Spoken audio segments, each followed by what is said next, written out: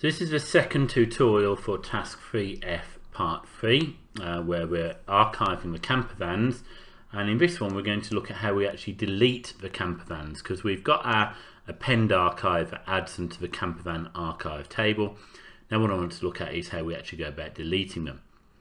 Um, so we'll have a look at our append archive uh, because when it comes to deleting all we've got to do is we've got to keep this criteria the same where the disposal date is not null. Um, so if I change this to a delete query, it's going to delete all of these where the disposal date is not null.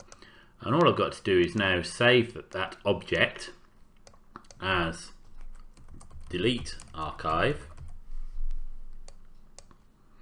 and we'll be able to um, run it. And now let's just have a look, view it first of all. It's showing the three. Now if I run it and something goes wrong, we're in a bit of trouble. So I'm going to save the database as before update temp.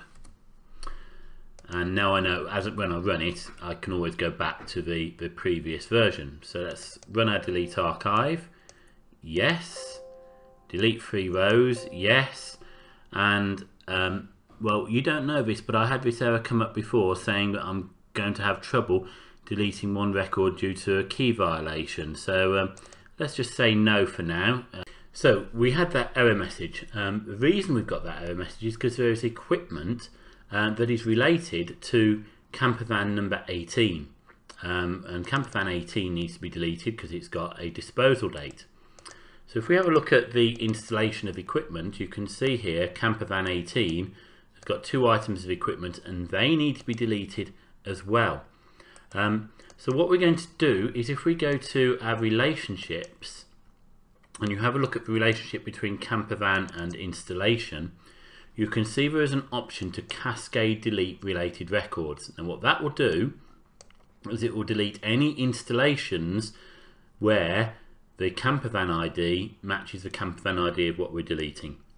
So if we delete a campervan here, any related records in installation will also be deleted and that covers um, the fact that all installed equipment for campervan should be removed. And it's not the actual equipment, it's just the installation of that equipment.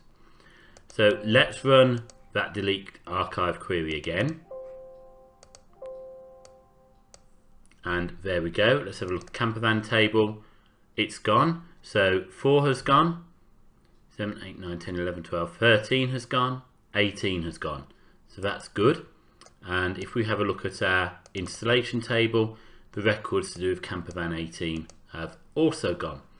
Um, so now the next video tutorial will take us through pulling all of this together.